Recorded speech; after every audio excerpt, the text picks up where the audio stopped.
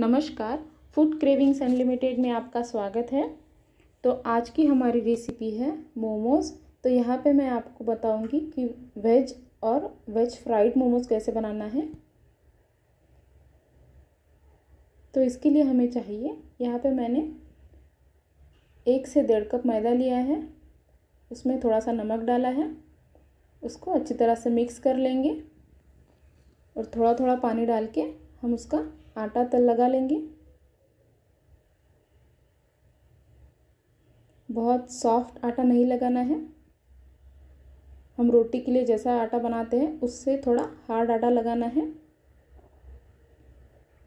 यहाँ पे आटा बन के तैयार है। अब इसको हम पंद्रह से बीस मिनट के लिए ढक के रख देंगे।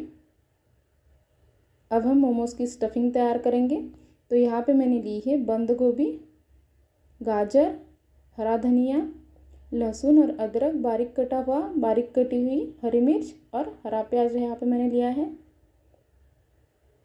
अब एक पैन में हम एक चम्मच तेल डाल देंगे। उसमें डाल देंगे फिर लहसुन और अदरक और हरी मिर्च।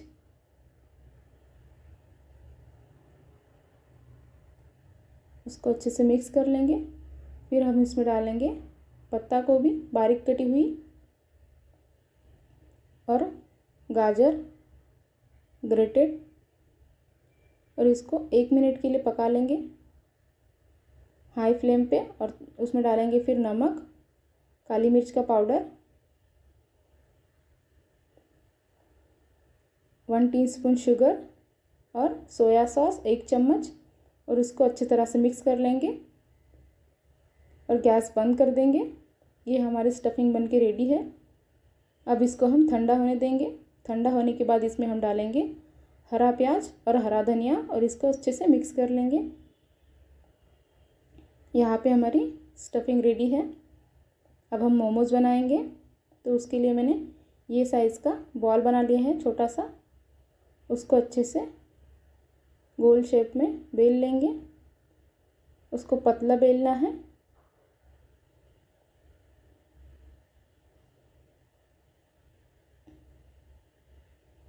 अब उसमें हम स्टफिंग डाल देंगे। यहाँ पे मैंने एक से डेढ़ चम्मच स्टफिंग डाली है। तो मोमोज का आकार देने के लिए अब हमें यहाँ पे एक साइड से ऐसा प्लेट लगा लेना है प्लेट कर लेना है और दूसरी साइड से यहाँ पे थोड़ा सा पानी लगा लेना है। और इसको ऐसा फिक्स कर देना है। तो यहाँ पे हमारा मोमोज बन के एकदम रेडी है। इस तरह से मैंने सभी मोमोज बना लिए हैं। अब एक कढ़ाई में हम पानी डाल देंगे, उसको गर्म होने के बाद ये बर्तन को ग्रीस कर लेंगे ऑयल से और उसमें हम मोमोज रख देंगे। और इसको हम पंद्रह से बीस मिनट के लिए ढक्कन रख के पकाने, पकने देंगे। पंद्रह से बीस मिनट हो गए हैं। ये मोमोज़ बन के एकदम रेडी है। अब इसको हम निकाल लेंगे।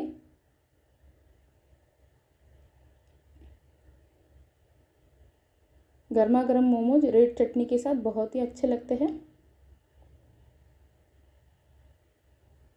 तो इसको मैं सर्व करूँगी रेड मोमोज चटनी के साथ। ये चटनी की लिंक मैंने डिस्क्रिप्शन बॉक्स में दी है।